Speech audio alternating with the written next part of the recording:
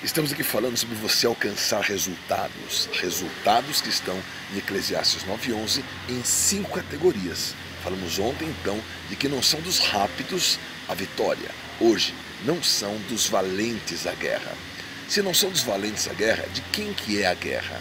A guerra são dos posicionados e dos que usam armas espirituais. Por isso, vem entender essa palavra nesse ano de 2018, você vai ter no dia 30, domingo da preparação, dia 31, culto da virada e você vai ter a reversão desse resultado. Tudo é o tempo e a oportunidade, é o estalo, é o momento. Este momento você encontra no altar.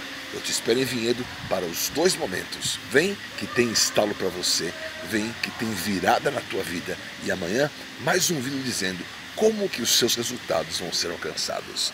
Shalom Adonai.